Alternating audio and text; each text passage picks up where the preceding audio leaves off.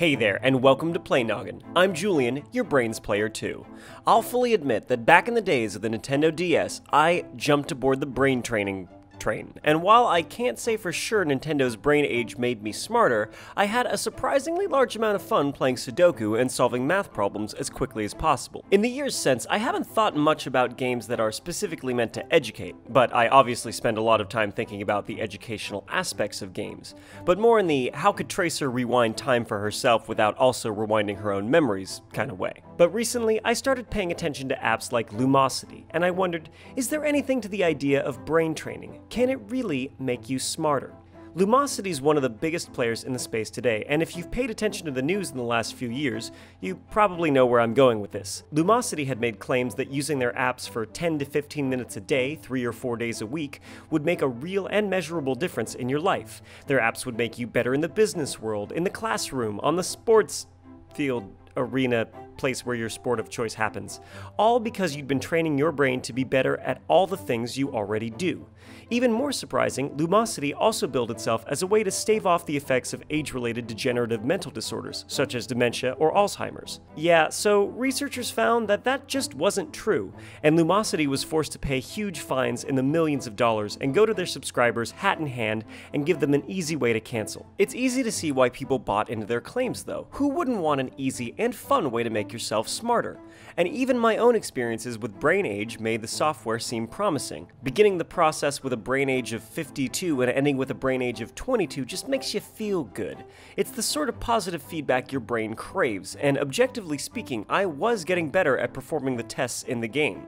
That's the thing, though. Studies have continually found that using brain training apps like Lumosity or BrainAge do improve one thing your ability to use those brain training apps. What's really happening is you're becoming more familiar with the tests and games, and so naturally you perform better in them. I've gotten pretty darn good at pulling off crazy headshots in games, but I wouldn't argue that that's improving my math either. See, there's a difference between getting better at something due to familiarity with it and showing what's known as fluid intelligence, or the ability to solve new problems problems that you've not previously encountered.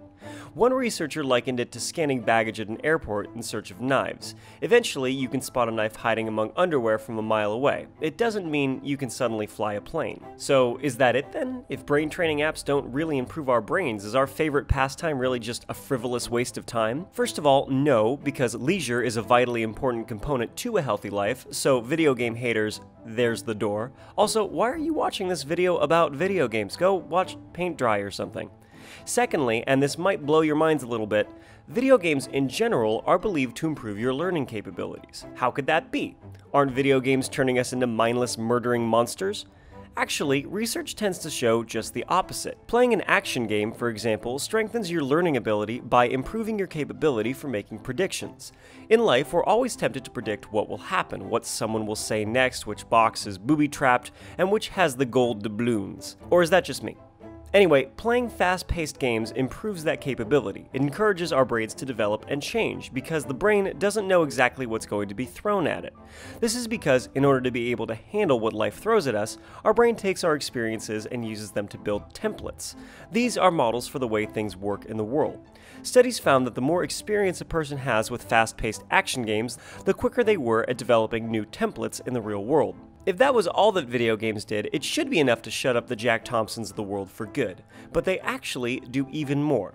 They teach problem solving and creativity, and they increase interest in history and culture. Researchers even found a correlation between high video game usage and improved cognitive ability. Kids who play a lot of video games showed 1.75 times increased in high intellectual functioning and were 1.88 times more likely to have high overall school competence. Would have been great to have that data when I was trying to convince my mom to let me stay up just one more hour to finally beat Ganon. But that's fine. I live on my own now, mom. Just yesterday I played Breath of the Wild until 3 a.m. and you can't do anything about it!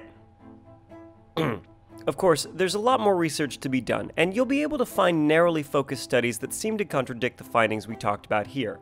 But the point is that our research is trending toward the positive on the subject of games, and that should make you feel good about our shared hobby. Hey, thanks for watching. If you haven't already, please like and subscribe. Check out some of our other videos here, and if you have an idea for a game or topic to cover, leave it in the comments below. Don't forget to keep on playing.